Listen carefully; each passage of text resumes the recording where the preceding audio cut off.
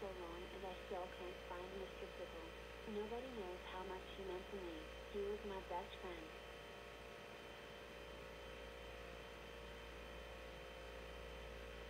Mr. Pickle.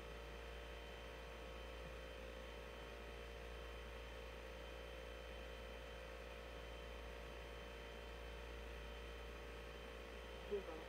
Petunia. I just found Mr. Pickle. That's not Mr. Pickle, that's the candy cane. It is Mr. Pickle. Don't make fun of him because he looks different. Mommy, you're out of your mind.